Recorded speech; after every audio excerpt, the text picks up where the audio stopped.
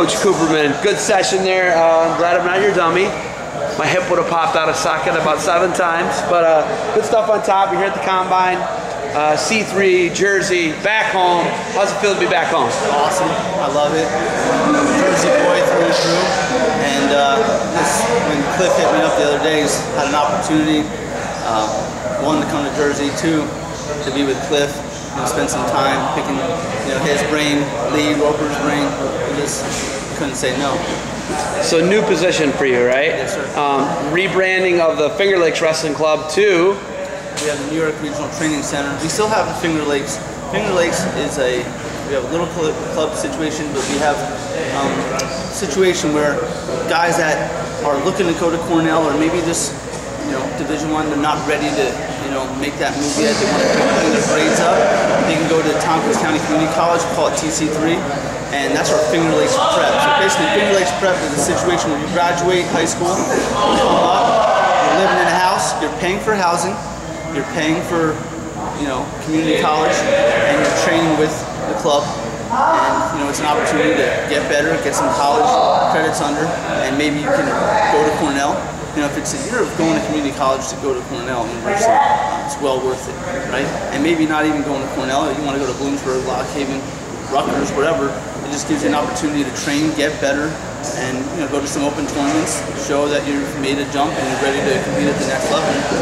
Yeah, I think Ben Darmstadt went that route actually. Mike Grey, we've had numerous guys, some recruits that are coming uh, next year that are going right there. Vito Arujau is in it right now. Um, it's a great situation. We've had a lot of guys do it. So you make the move from Maryland. Yes, sir. Okay, you're working with Milwaukee Tools up to Ithaca. What was that move like? And you know, was there convincing with your wife? How did you do all that? Because I, I think I'm, I'm going to need some advice from you how to convince wives to do things, Right, big moves and things like that. But um, you know, how did, how did that work out, and, and what what came into that decision? It's our third move in five years together. But my wife is the daughter of a wrestling coach, so she's used to it. She's lived in Arkansas, Florida, Switzerland, Oklahoma.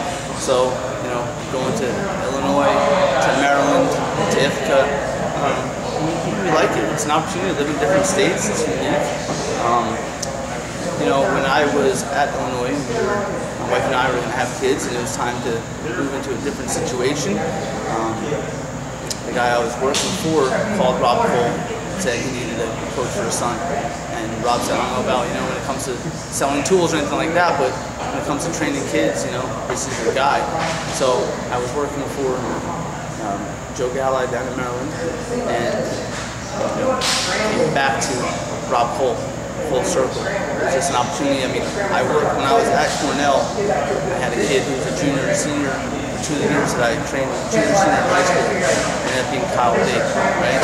And now Kyle Dake is trying to make the Olympic team. He is, if he's not the best guy in the world, he's right behind Burroughs, and I think we've closed that gap, and he will you know, surpass him. at He beat him. he did. He He, beat beat, him. him. In the second match, he, he was right there. You know, he always has to go through four matches, and then you know he has Jordan. So um, Kyle's looking to be the best in the world. He wants to win the Olympics, and we, needed a coach for the senior level guys. And we have a great Greco-Roman situation. We have the best Greco-Roman senior level situation in the country. Matt Lindland was just out here. He loves it. Right? He loves what we're doing. There's like 15 guys. We have a Greco-Roman coach, Ahad, Iranian, and now it's to get that freestyle club at the same level.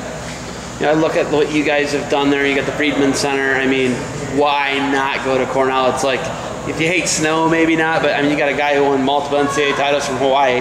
So if that guy can come there and flourish, do you think that this is a situation where you guys can go to the next level? They're they're quote unquote rebuilding, right? They got one All American coming back.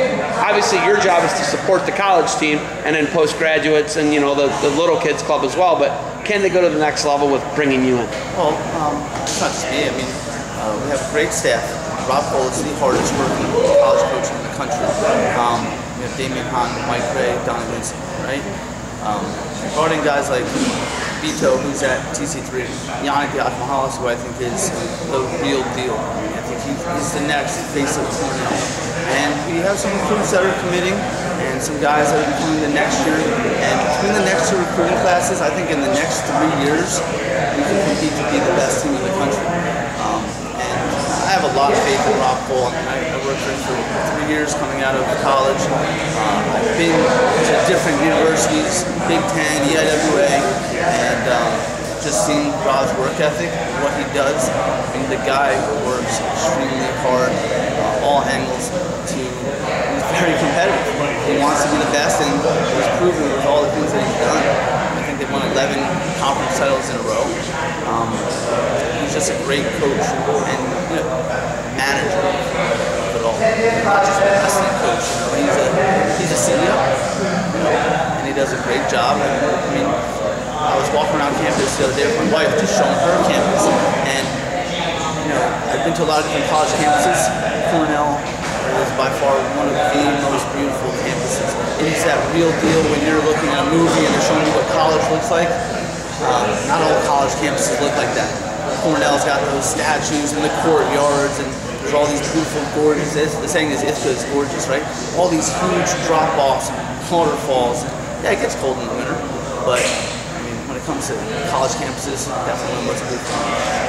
All right, you're back in Jersey. I'm guessing you probably got something going on today. What else you got? Uh, my best friend is sitting behind you right now. We're probably gonna get a meal and um, just hang out for an hour or two, and then just back up to Ithaca. Got two kids and a wife to get back to, so um, left them last night, and I'll get back to them. You know, it's three and a half hours to get down to Jersey, get back up, so it's, it's close enough to take that trip anytime. All right, you got anything else for me?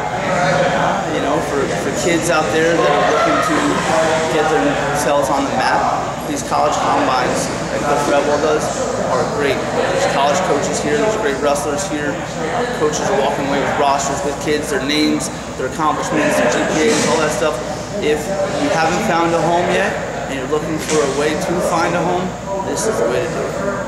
College, you know, compounds, college Combines. hey, thanks for the time. Safe travels. Enjoy Jersey while you're home, all right? Thank you.